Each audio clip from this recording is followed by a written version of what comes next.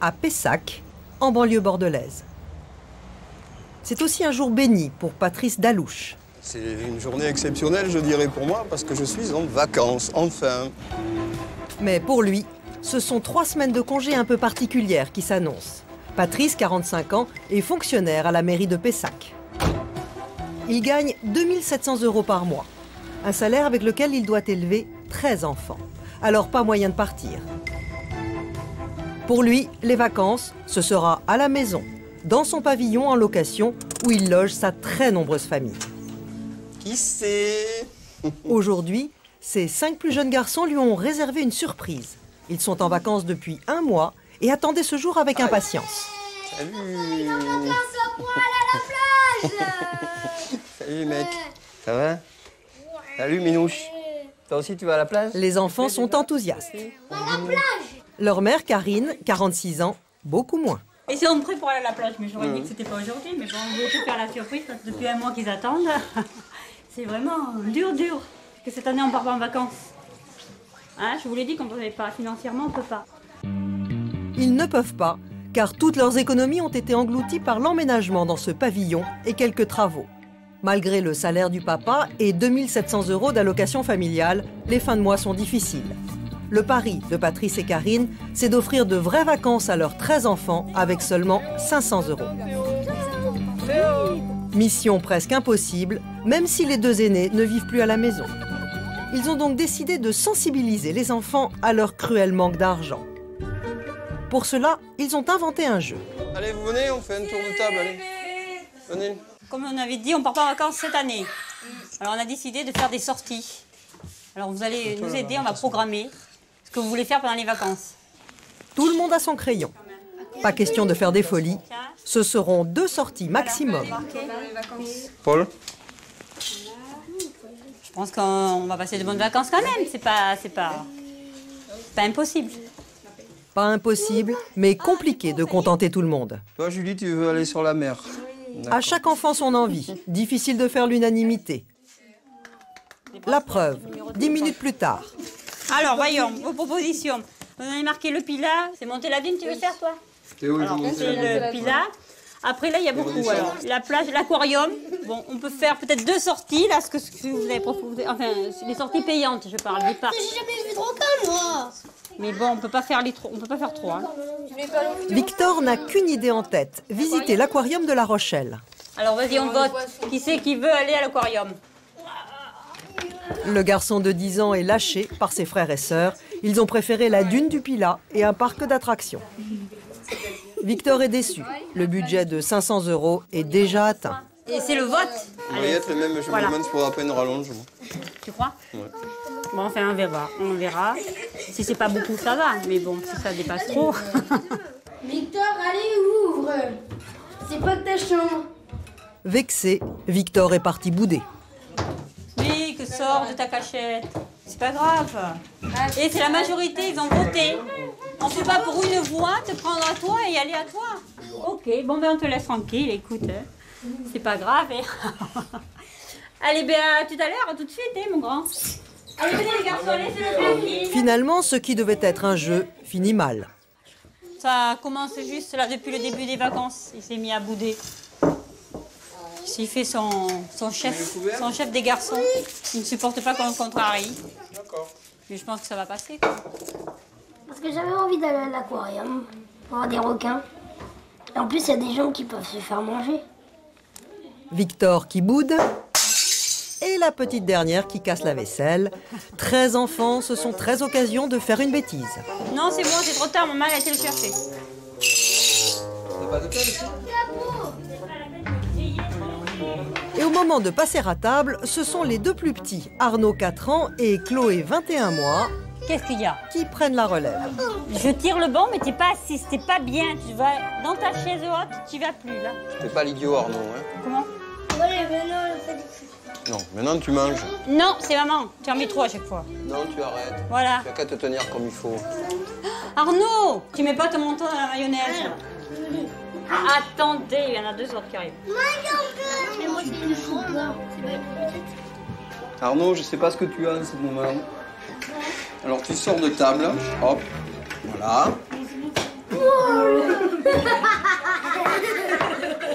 Là, c'est un peu la débandade. Mais bon, c'est les vacances. Voilà, on part pas. Et quand on va en camping ou quand voilà, c'est un peu comme ça. Chacun se lève, il fait un peu. Alors bon, je laisse faire quoi. Mais ça me fait du mal, pardon. Toute l'année, deux fois par jour, c'est le même chassé-croisé. Une fois les petits sortis de table, deuxième service pour les grands. Marie, 21 ans, Émilie, 16 ans, Julie, 20 ans, Sophie, 12 ans et Pierre, 18 ans. Pour la mère de famille nombreuse, deux mois d'été avec tout le monde à la maison, ce n'est pas franchement du repos. Mais cette année, elle est prête à tous les sacrifices pour que ses 13 enfants n'aient pas des vacances au rabais. Je veux que ça soit réussi. Je veux qu'ils me disent à la fin Ah, maman, on fait compte, on n'est pas parti en vacances, mais on fait compte, quoi. On s'est bien amusé quand même, on n'a pas regretté. Voilà. À Pessac, près de Bordeaux, des occupations bien différentes pour les 13 enfants de la famille Dalouche. Ce matin, la grande sœur occupe les plus petits avec des histoires de Toto en vidéo. Avez-vous déjà vu Ah. Toto qui passe le casting de la nouvelle idole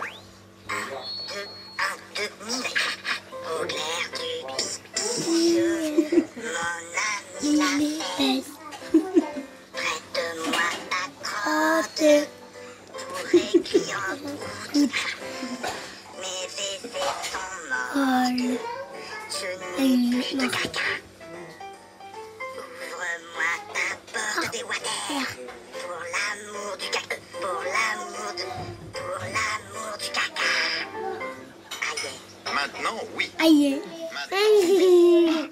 Encore. La suite des aventures de Toto, ce sera demain. Dans l'immédiat, il faut se préparer pour la première sortie des vacances. D'habitude, c'est Karine qui est de corvée. Patrice n'a pas vraiment l'habitude. C'est bon? Non, t'es pas habillé? Ben non. C'est un pyjama. C'est vrai, t'es habillé, mais on va s'habiller encore. Tu vas voir, on va mettre. Elle me dit, elle est habillée. C'est celle qui a voulu s'habiller en même temps que moi tout à l'heure. C'est le pyjama. La pauvre, ça fait passer pour. C'est une blague. Préparer les six plus jeunes, ça prend une heure, tous les jours. Et aujourd'hui, c'est pire. Là, il y a un nœud, vas-y. Il y a un nœud, sinon c'est moi qui le fais. Victor fait toujours la tête, vexé de ne pas aller à l'aquarium. Et son frère Arnaud a décidé d'enchaîner les bêtises. Tu donnes pas des tranches de jambon comme ça au chat, il a des boîtes. On n'aurait pas eu ton enfant si on n'avait pas de patience. C'est euh, c'est comme ça. Des fois, ils n'ont pas envie, c'est comme nous. hein. On fait en sorte, on s'arrange. Comme Victor, en ce moment, il boude un peu. Mais on vit avec. Jusqu'à qu'il se- qu'il revienne parmi nous. Finalement, deux heures plus tard, tout le monde est prêt. Ah, mais tu l'as mis dans le coffre, regarde. Et comme toujours, le moindre déplacement est une véritable expédition. Ça y est, tu m'as attaché? Un minibus de 8 places pour les plus petits et les grandes sœurs dans la deuxième voiture. Ce matin, ce n'est pas encore les grandes sorties attendues au parc d'attractions ou à la dune du Pilat. Pour eux, les vacances commencent au centre commercial. Objectif de la journée, acheter des maillots de bain aux cinq garçons en vue de la sortie au Pilat. Mais pas n'importe lesquels. Karine doit trouver toutes les tailles dans la même couleur. Et on prend des couleurs qui flashent.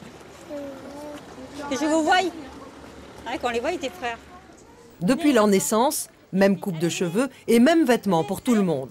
C'est la recette de cette maman poule pour repérer ses poussins dès qu'ils quittent le nid. C'est pour pas les perdre. Vu qu'ils n'écoutent pas grand-chose en ce moment, euh, la preuve, c'est que déjà, ils s'éparpillent. Comme ça, je peux les voir. Regardez, on les voit d'un seul coup d'œil. Et le premier à s'échapper, c'est Arnaud, 4 ans. Où il est, Arnaud? Où? Paul, viens ici. Non, tu restes avec les autres. Nous attendons Arnaud qui est aux toilettes. Mais on a cru l'avoir perdu. Une seconde d'inattention et il y en a toujours un qui disparaît dans les rayons. Arthur, il est où? Je sais pas. Où il est, il est, Arthur Arthur Arthur, il manque. Arthur était parti au rayon vélo et quand il revient, c'est un de ses frères qui s'enfuit. Ils nous écoutent plus. Viens, Chloé, avec ton petit chariot. Voilà. C'est pour ça qu'en jaune, je les vois. Je ferme la marche. Je passe mon temps en fait à surveiller euh, les déplacements des uns et des autres. Quoi. ah, voilà, ils sont là, les maillots. Allez, venez. La couleur est importante, mais aussi le prix. Karine prend toujours le moins cher. Mais ça va pas être évident parce que je vois que tous le- les gens cette année ont fait la même chose que moi. Ont pris dans le premier prix. 5 shorts orange et c'est tout. Même si ça fait mal au cœur, impossible d'offrir aux enfants tous les jouets qu'ils voudraient. Heureusement, Karine est une spécialiste du système D. Au fond du magasin, elle a repéré un petit parcours de golf. Les enfants adorent et c'est gratuit. Vous voyez, on peut trouver des sorties pas chères. c'est la première fois que je les vois faire. c'est même rigolo, mais bon. De toute manière, ils sont toujours en activité. Alors, euh, à la fin, le soir, on est épuisé quand on les a suivis partout. C'est comme ça, hein, elle a voulu.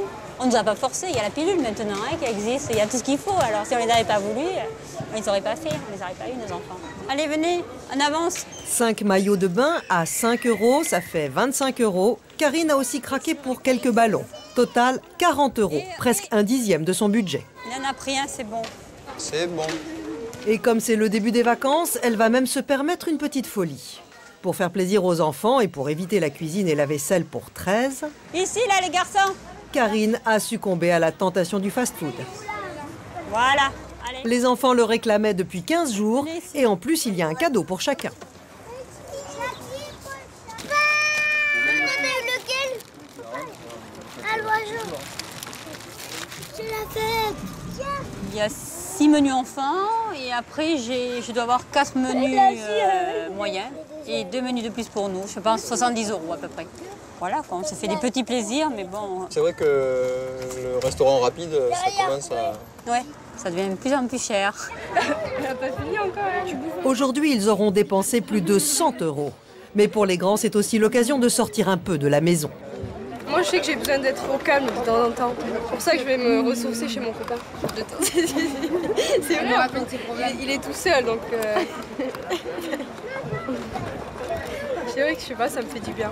Après, j'aime bien les retrouver, parce que ça me manque. Mais c'est vrai que j'aime bien être tranquille aussi. Car de la tranquillité, il n'y en a jamais eu à la maison. Patrice et Karine ont enchaîné les enfants. C'est dans nos gènes, je pense. on est, Quand ils se sont rencontrés, Karine avait juste 18 ans. Et sitôt mariée, première grossesse à 24 ans. Depuis, un bébé tous les 1 ou 2 ans.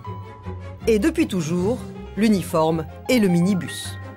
Au total, la mère de famille nombreuse a passé plus de 20 ans de sa vie enceinte. Son seul regret, ne pas avoir eu de jumeaux et devoir s'arrêter à 13 enfants à 46 ans. Et si j'avais été, ouais, peut-être que j'en aurais eu, on aurait fait un 14e. Ouais, j'avais Oui, dit. même ouais. euh, au-delà de 14. Non, non, peut-être pas, parce qu'après il y a l'âge qui, qui Ah intervient. Quoi. Une fois j'avais été voir une voyante, elle m'avait dit Oh, mais c'est pas possible, je vous vois 14 enfants. Et puis j'avais ricané, j'avais dit Mais ça va pas. en fait, compte, elle était pas très loin. Tu vois, elle était pas très loin. J'avais dit C'est impossible. De nos jours, on peut plus avoir autant d'enfants. Puis en fait de compte, euh, c'était vrai. Mais ça m'a pas du tout influencé. Hein. Faut pas croire. Ce que n'avait pas prévu la voyante, c'est qu'un pot d'échappement capricieux allait remettre en cause la suite. À Bordeaux, pas de soleil et un minibus toujours en panne. Malgré tout, pas question d'annuler la sortie au parc d'attractions. Allez, les loulous, on s'habille. Allez, on se lève là. Allez, hop. Vous êtes prêts à moitié? Il manque le t-shirt de la même couleur. Tiens. Allez, on se lève. Dépêchez-vous parce que sinon on va être en retard à l'ouverture. Tout le monde a déjeuné Voilà. Allez, on y va. C'est le grand jour, la première sortie. L'une des deux seules de l'été pour les 13 enfants de la famille Dalouche. Cadeau du ciel, une éclaircie au moment de partir. Entre le grand frère William, les copains des grandes sœurs et quelques cousins, au total ils ont réuni 5 voitures. Une véritable expédition. Là, regarde, là, ça va là. Bouge pas, regarde si ça tâche. C'est assez inhabituel. C'est même, euh, ouais, c'est même euh, jamais arrivé de partir sans le minibus. Voilà. Alors, ça y est, on a réussi à caser tout le monde dans les voitures Quel exploit Ça y est Je ne montrerai pas tant que les portes ne seront pas fermées. que je- Et attachez-vous, Allez, hein. on est parti. Première mission accomplie pour Patrice et Karine, car ils ont bien cru ne jamais partir.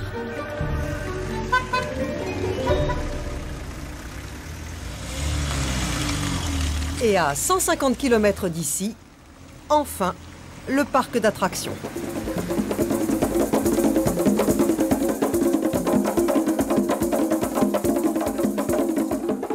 Ils ne sont qu'à deux heures de route de la maison, mais le dépaysement est total pour Chloé, 21 mois, et ses cinq jeunes frères.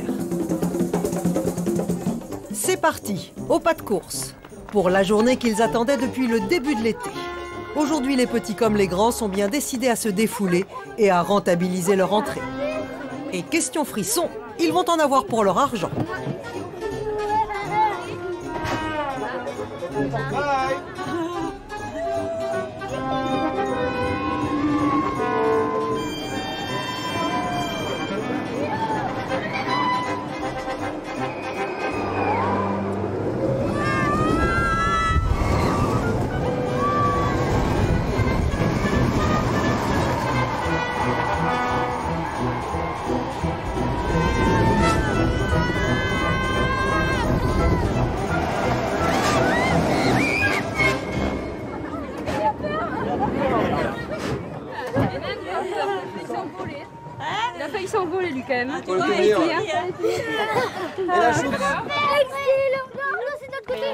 Bien, hein, décompresser. Parce que là, on appelle ça décompresser. On n'est plus à l'univers de la maison, quoi.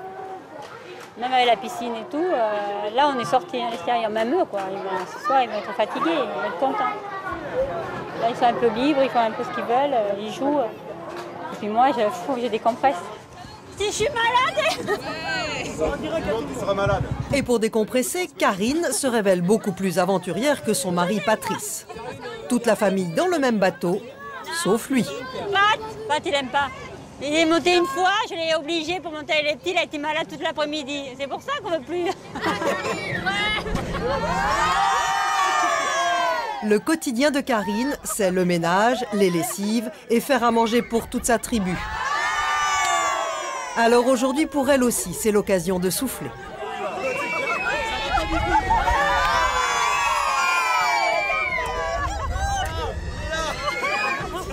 Bien alors. Tu le tiens Marie, tu le tiens lui Karine et Patrice ne roulent pas sur l'or, mais pour eux, élever une famille nombreuse, ce n'est jamais la galère, bien au contraire.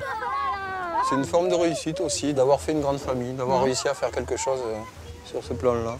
C'est gratifiant parce qu'on les voit euh, grandir. euh, C'est toujours une satisfaction pour nous. Ça nous tient éveillés par rapport au temps qui file. Quoi.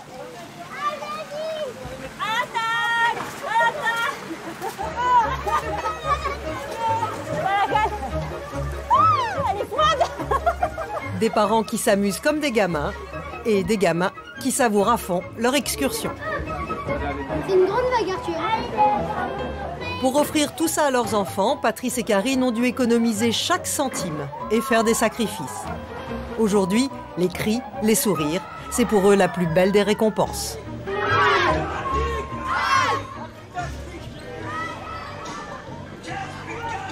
On se dit qu'on n'a pas fait tout ça pour rien.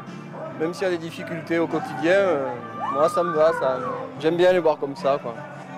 Voilà, c'est si simple. Il n'y a rien à rajouter à ça. Quoi. Un dernier tour de manège jusqu'à la dernière seconde. Prochaine excursion, la dune du Pilat, s'il n'y a pas d'imprévu. Ça y est, tout le monde est content? C'est bon? Moi je suis content. Bon.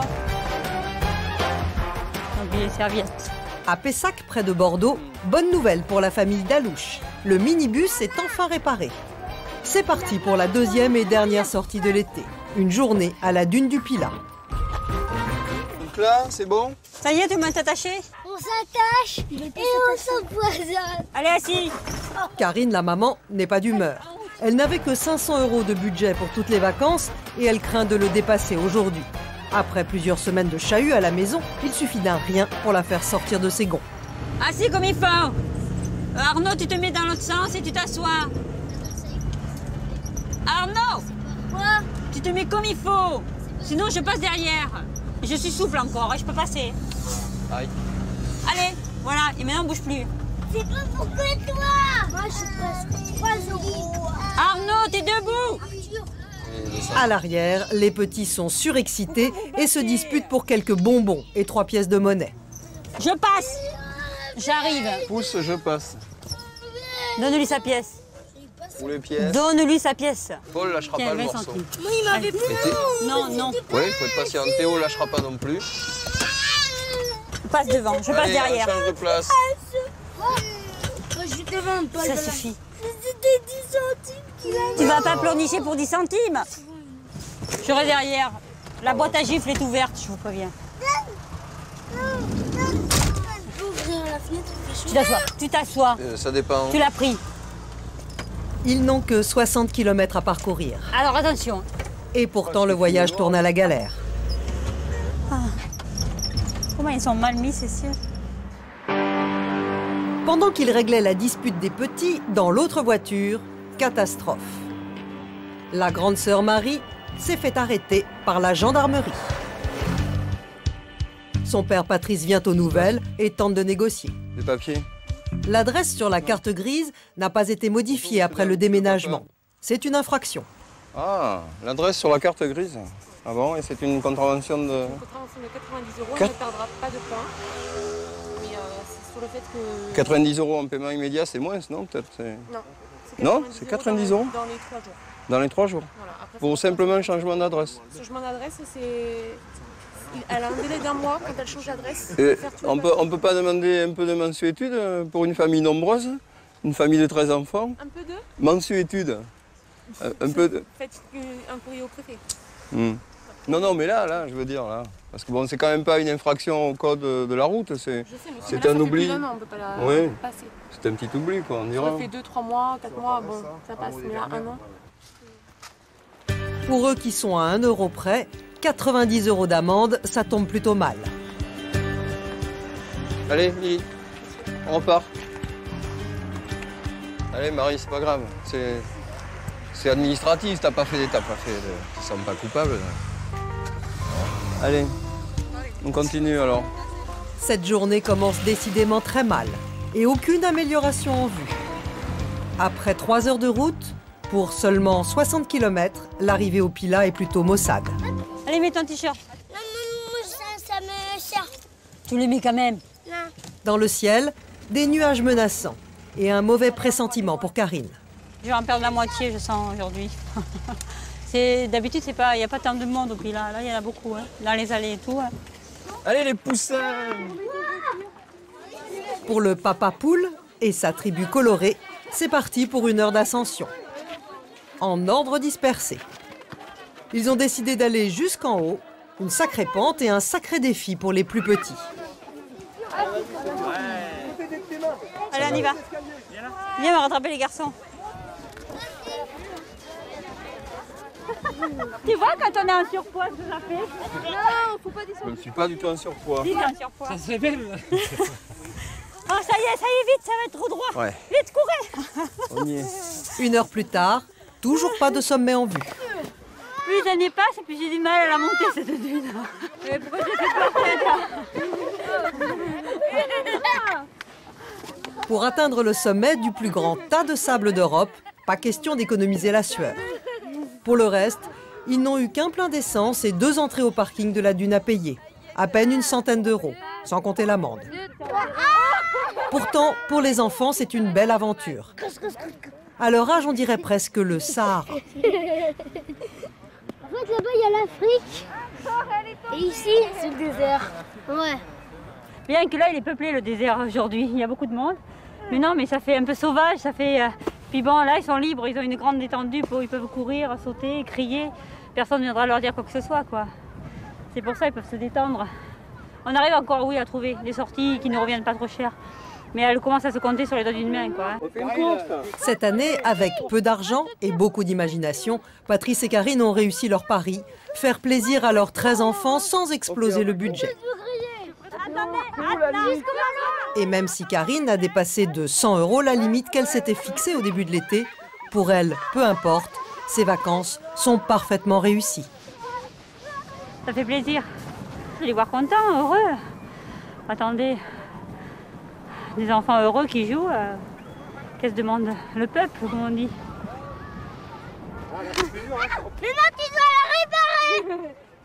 Là, il commence à pleuvoir.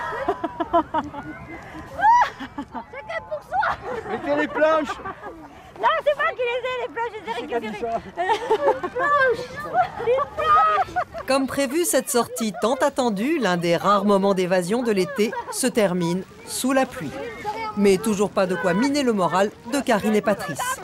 Comme on dit dans le Bordelais, les événements heureux sont toujours bien arrosés.